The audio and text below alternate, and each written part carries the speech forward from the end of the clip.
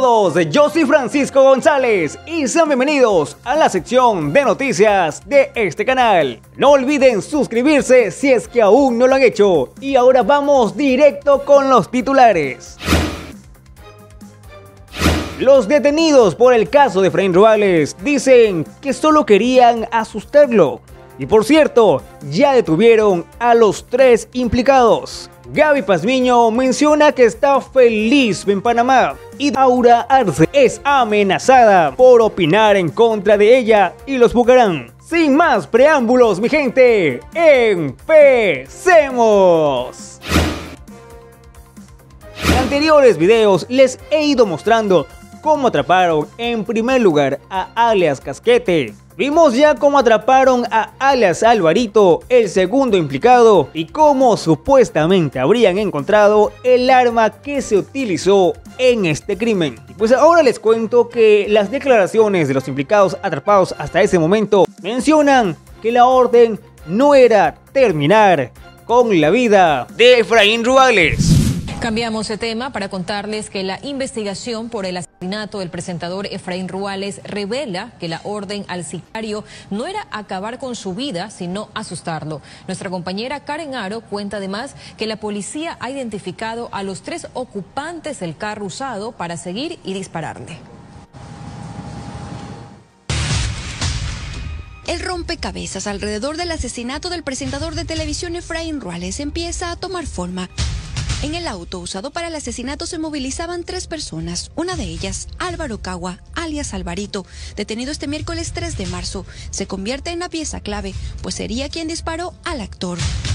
Un segundo ocupante es Alexis Casquete, alias Casquete, detenido el 5 de febrero y señalado por el robo del carro. Ahora la policía está tras la pista del tercer ocupante del auto.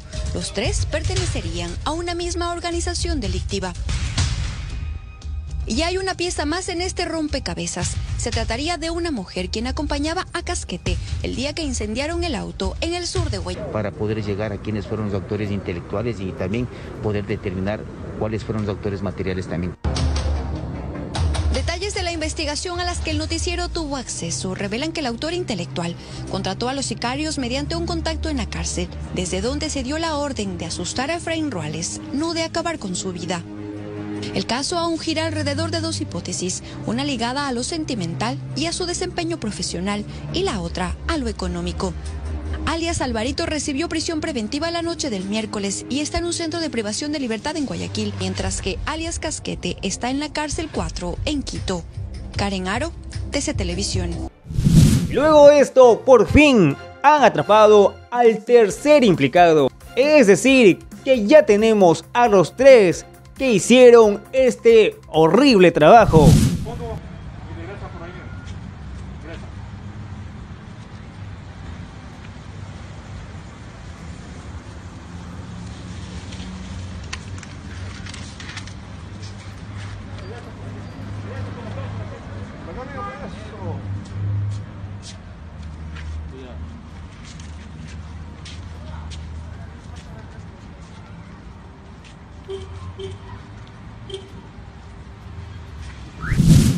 Solo falta que logren sacarle la información de quién es o quiénes son los que dieron la orden y por fin develar cuál es el motivo. Porque como dijeron existen varias hipótesis, pero no una concreta. Y solamente encontrando a quien dio la orden, obviamente tendremos la respuesta y algo de justicia para la familia de Efraín.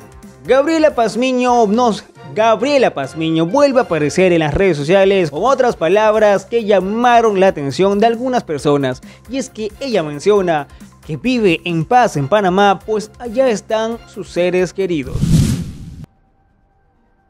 Cuento que me siento en paz, gracias a Dios, y pienso que donde está Dios y mi familia eh, es donde realmente habita la paz en el corazón de una persona.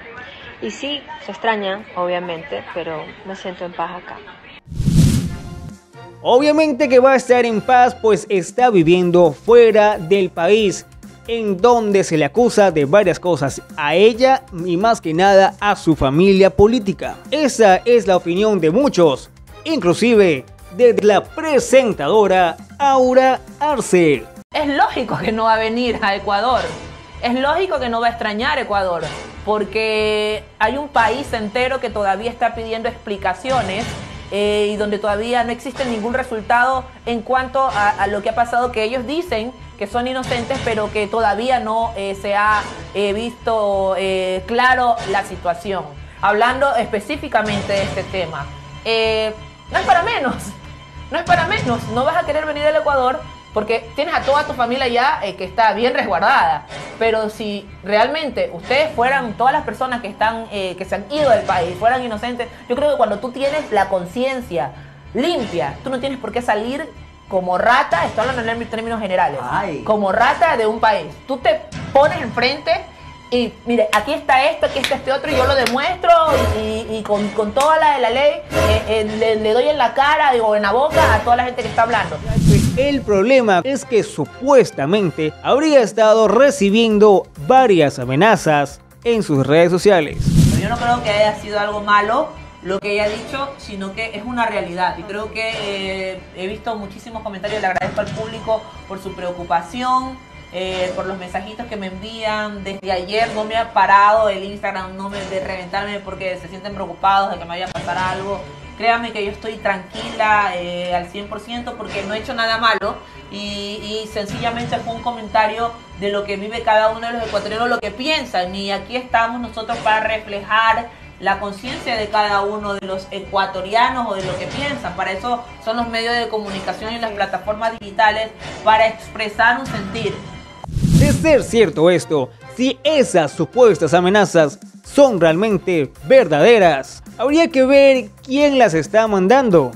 Porque podría ser directamente, no sé, la familia Bucarán o tal vez algún amigo o un fanático pues recordemos que existe el fanatismo para cualquier cosa. Pero bueno, esto es Ecuador y aquí no podemos opinar de los corruptos. Porque el que termina pagando los platos rotos es el que opina y bueno, el mismo pueblo. Hasta aquí llegamos con este corto video de viernes, mi gente. No olviden suscribirse si es que aún no lo han hecho, que eso me ayuda muchísimo, muchísimo. De mi parte, Cuídense mucho, pórtense bien, tengan un buen fin de semana y nos vemos en el próximo video.